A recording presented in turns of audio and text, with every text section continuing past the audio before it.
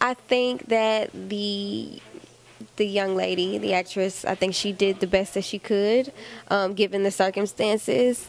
Um, personally, I don't think it should have been made against the family's wish- wishes, and I think that, um, you know, to just when you. I'm not going to even go into detail because there's so many things to say, but if I I just don't think it should have been made against the family's wishes. Um, but I do think that she did the best that she could, and she's only trying to do what she loves, you know, and that's and that's acting. Um, and you know, the circumstances surrounding it are very uh, tough. It's very tough.